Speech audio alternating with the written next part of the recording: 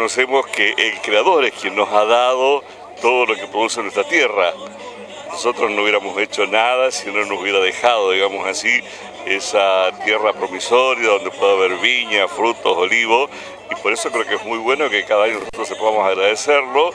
pedir la protección también de la, de la Virgen de la Carrodilla, de San Rafael, pero a la vez también pedir especialmente por todos los hombres y mujeres, familias que trabajan en la agricultura, que muchas veces tienen que soportar bastante sufrimiento y a veces también hasta un,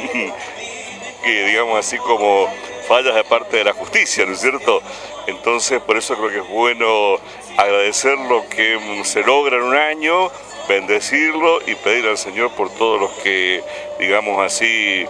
eh, con sacrificio y con esfuerzo llevan adelante, digamos así, lo que es esta, esta producción, que a veces a lo mejor